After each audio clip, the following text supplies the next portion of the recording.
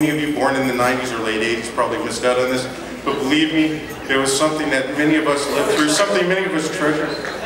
Don't go, you won't talk about people born in the 50s or 60s, I know none.